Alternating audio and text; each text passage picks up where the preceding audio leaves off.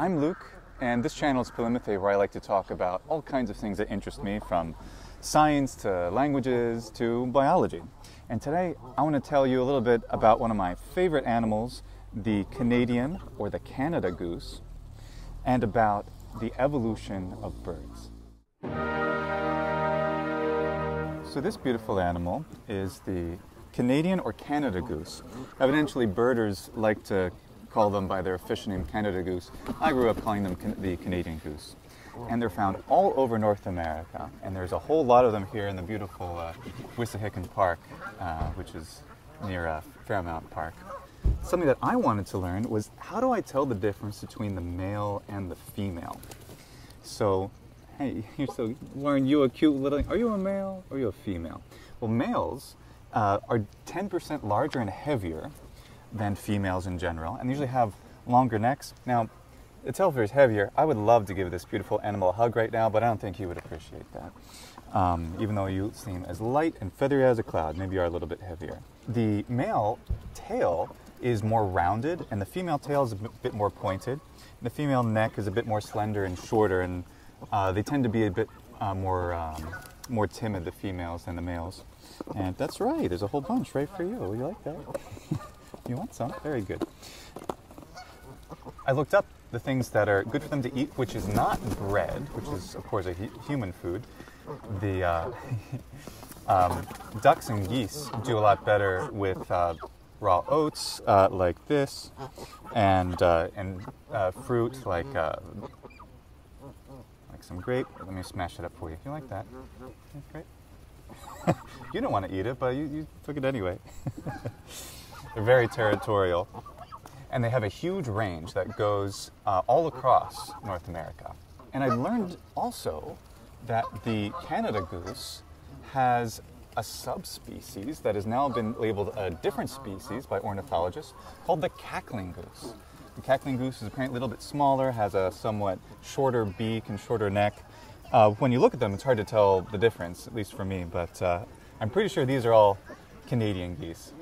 Another way to tell the male from the female is that the male honk is somewhat lower and the female honk is somewhat higher.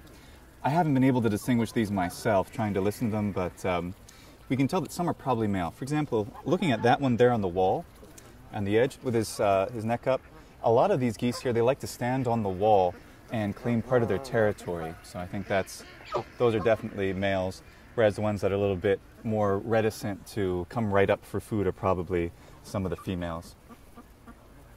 Oh, and here's a beautiful little little duck over here. So the uh, ducks and geese are part of Anseriformes, and because they have the form of an anser. The genus, though, here of the can- the Canadian goose is called Branta, which comes ultimately from an Old Norse word given to them by Linnaeus, and it means a burned duck, a brandgas, or something like that. Uh, Jackson Crawford could help me with the pronunciation.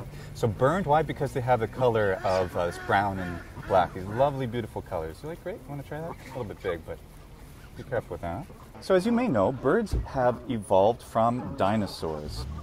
And something I want to know is, well, when exactly do we get birds something like this back in ancient times? The first bird evolution, that is, actual flying uh, dinosaurs or, or reptiles, that comes from uh, the Jurassic period. So there were the first, we would call them primitive birds with tails, but they would fly back in the Jurassic period. They had teeth and they still had claws on their wings. And then we actually get the first ancity duck and goose like uh, like animals in the Cretaceous period. So th- maybe right here in a place not too different, there were dinosaurs, and there were animals not too dissimilar from geese, like these wonderful animals, which I think is pretty cool.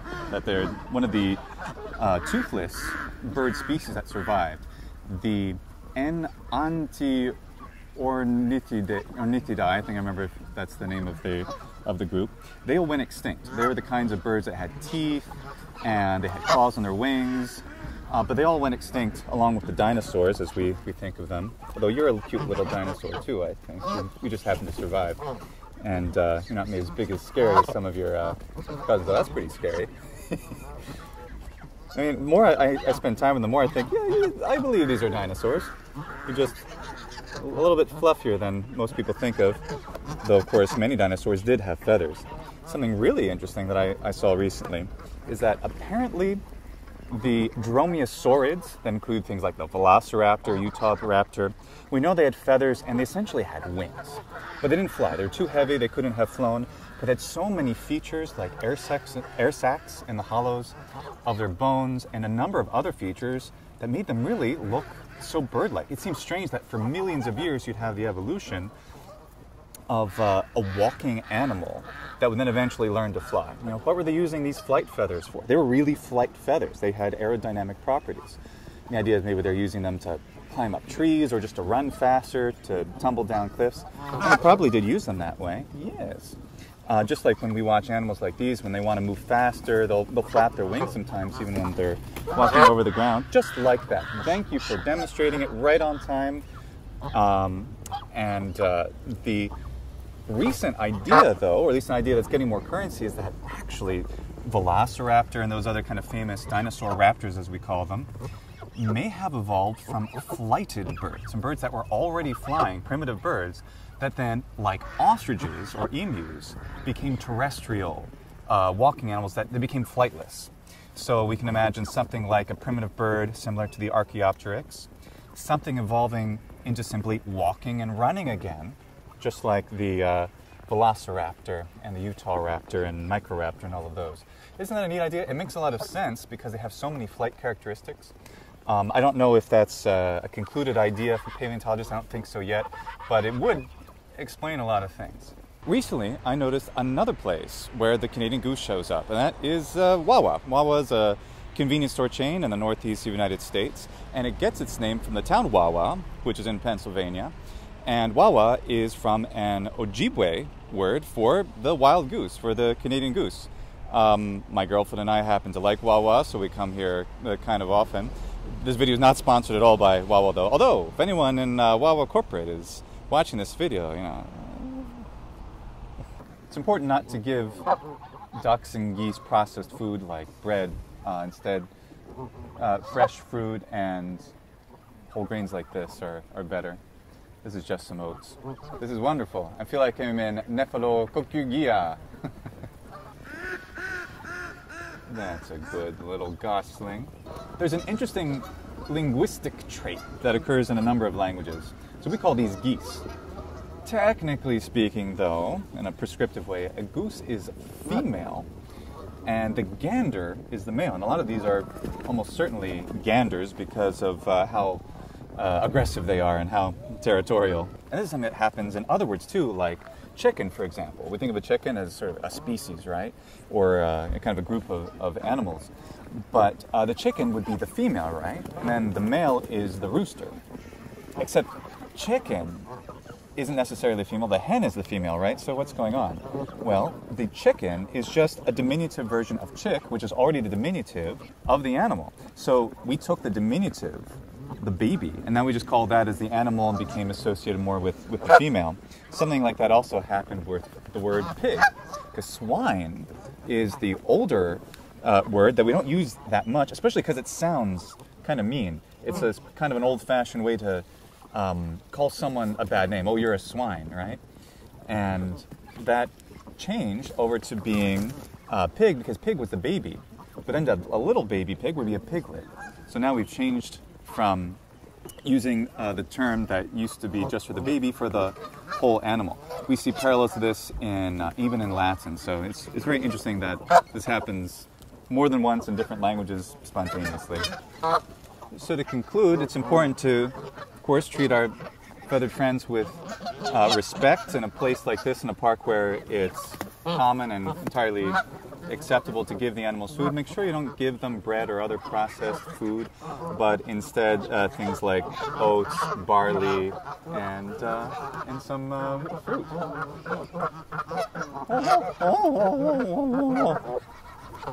This is great.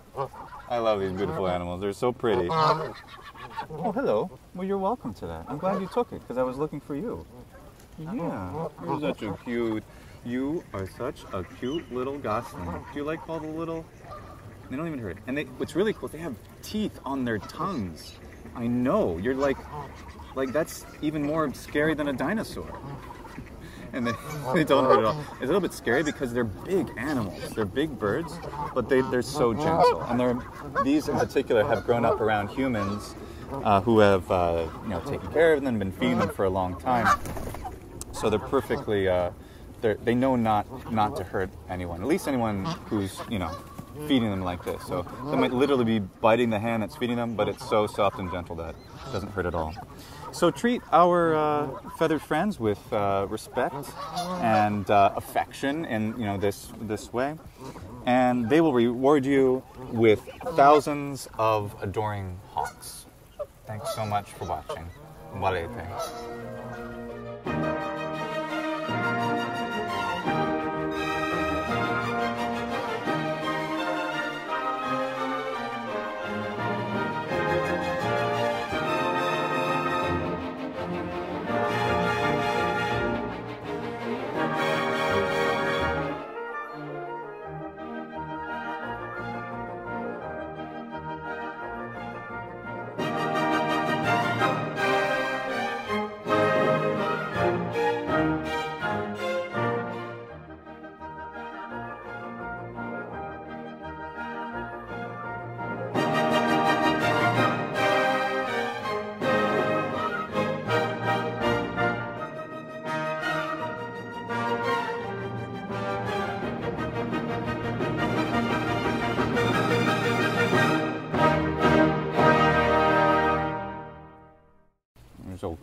Cute. Look at this